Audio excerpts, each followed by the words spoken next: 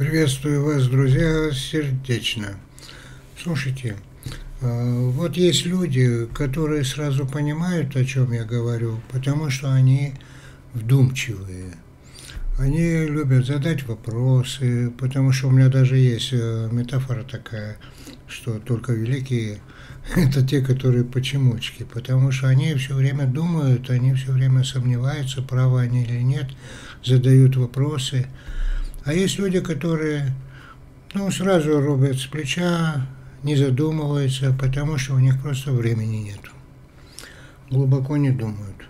Вот, э, например, например, э, очень часто повторяется вопрос у меня о нулевом состоянии и о том, что кроме нулевого состояния, через которое происходит переключение агрегатных состояний режимов работы мозга, есть еще четыре агрегатных состояния, кроме нуля, вот, через которые они переключаются.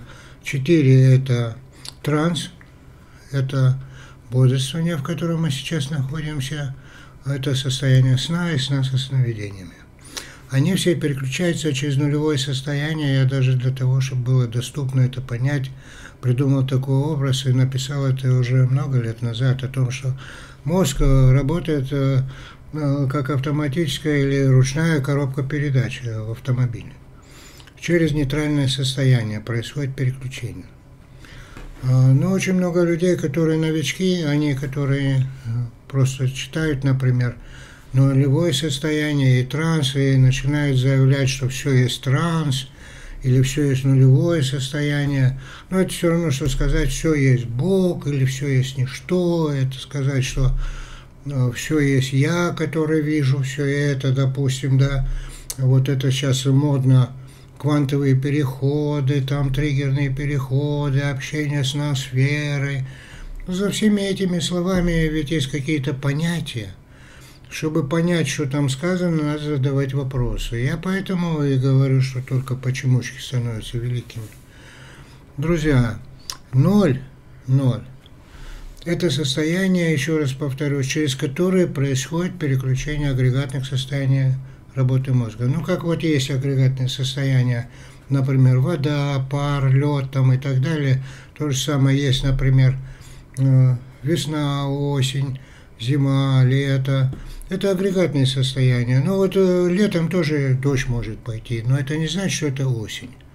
То же самое, когда человек не понимает, что такое нулевое состояние, он вот э, вдруг мне пишет, э, ну это же транс, причем тут ноль, какой ноль?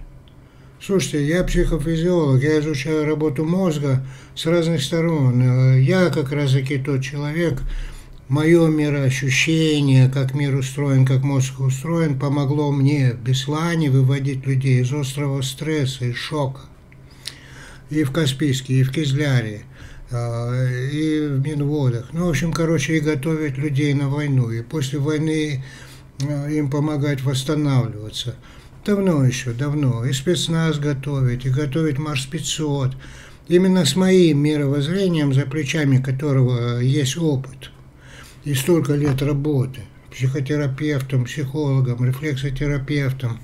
Я гипнозом занимался много, много лет, изучал, как работает мозга, как окно в мир этот внутренних процессов. И вдруг появляется девочка или мальчик, которые ничего этого не делали в жизни.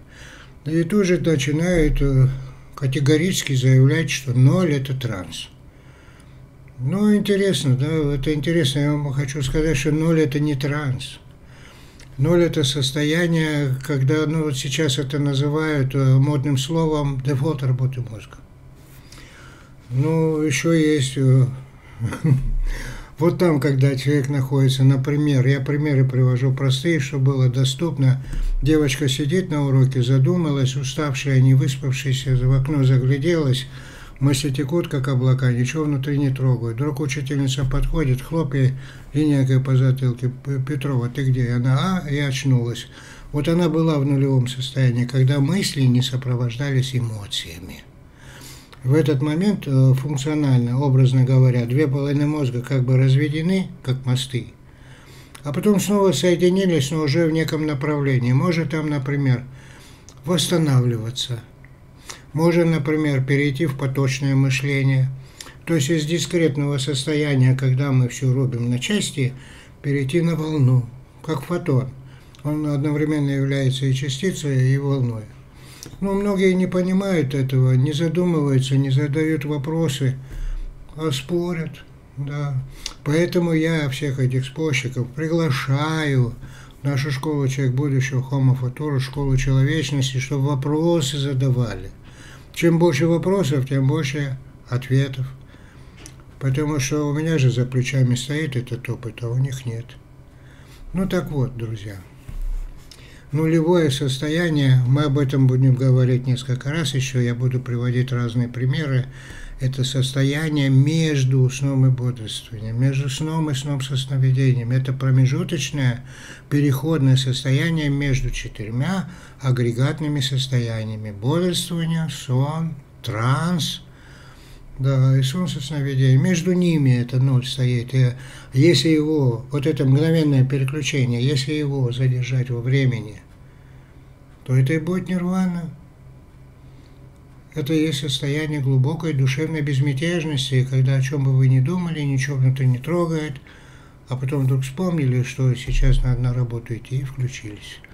Вот до момента, пока вы включились, вы были в нуле. Ну, это состояние, если к себе прислушаться внимательно, в этот момент как бы нет внутреннего диалога. Я вам потом еще раз расскажу, откуда берется внутренний диалог. Не надо его уничтожать, не надо с ним бороться. Это просто повышенное нервно-психическое напряжение. Ну, как пульс, например, как биение сердца, как давление, например, когда оно в константах гомеостатического баланса. Мы его не слышим, этот свой пульс. А когда напряжение высокое, стучит. То же самое внутренний диалог. Это проекция социума у нас в голове. Как же он может быть вреден? Мы всегда там с кем-то мысленно общаемся, а, ну, когда у нас нервно-психическое напряжение высокое, мы его начинаем слышать. А у психически больных даже как голоса звучат. Это все надо понимать. А чтобы понимать, надо все-таки задавать вопросы. Себе задавать вопросы, кому-то задавать вопросы.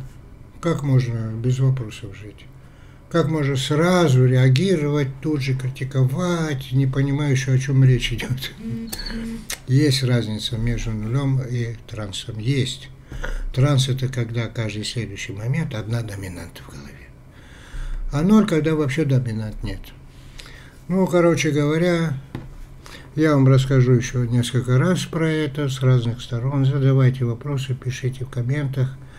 Да, и хочу еще сказать э, сколько у нас прекрасных людей в нашей школе «Человек будущего Homo Futurus». Да, наша школа самая лучшая в мире. Потому что я всегда отвечаю на вопросы. И у нас очень много людей, которые пишут комменты, отвечают на вопросы, помогают друг другу. Это школа человечности. Помогают друг другу понимать, о чем идет речь. Поэтому, друзья, спасибо вам за наши встречи. Скоро я буду проводить ликбез, а потом я буду проводить вебинар о том, как помочь детям э, заиканием, о том, как помочь детям аутистам, их родителям как помочь, потому что это такая ноша у них на плечах и у них в сердце, когда они все время привязаны к этим детям. Так вот, э, мы проведем, мы я объявлю завтра, когда у нас ликбез, пожалуйста, передавайте друг другу о том, чтобы они были внимательнее, потому что очень много людей сейчас нуждаются в психологической поддержке и помощи. И, конечно, потом будет вебинар, а потом будет, о, знаете, что будет потом. До встречи.